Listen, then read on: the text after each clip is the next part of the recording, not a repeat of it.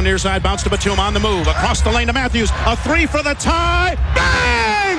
Paul! What a magnificent play set up during the timeout. And Matthews was by himself in front of the Miami bench to tie the score at 88. Bounce to Matthews. Matthews 10 to shoot. Matthews against Allen. A three for the lead. Yes! Yes, he did! 26.7 seconds left.